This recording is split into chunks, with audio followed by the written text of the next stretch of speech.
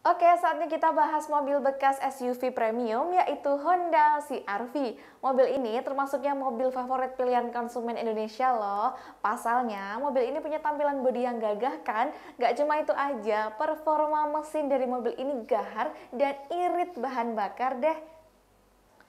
Dikutip dari blog daltripunjualbeli.com, kalian pasti sering menemukan kalau mobil bekas saat ini banyak di pasaran kan? Nah, kalau sobat Tribun Jual Beli lagi cari mobil bekas dengan budget terbatas, bisa lirik nih Honda CR-V tahun 2017 sampai 2018 bekas.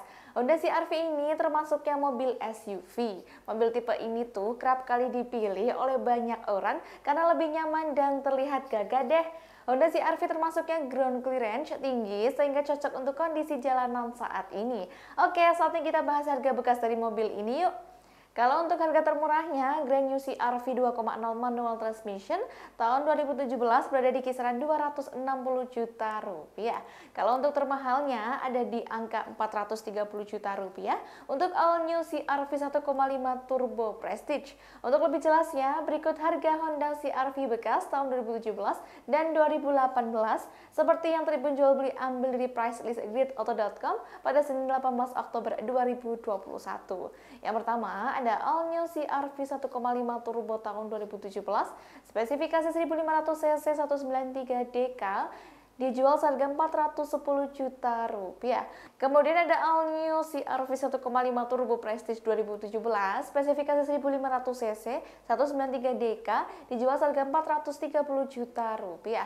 Lanjut ada all new CR-V 1.5 Turbo tahun 2018, spesifikasi 1500 cc, 193 DK, dijual seharga 420 juta rupiah. Terakhir ada all new CR-V 1.5 Turbo Prestige tahun 2018 spesifikasi 1500 cc 193 DK dijual seharga 440 juta rupiah. Oh iya, harga ini diambil dari pedagang mobil bekas area Jakarta dan tergantung kondisi kendaraan ya.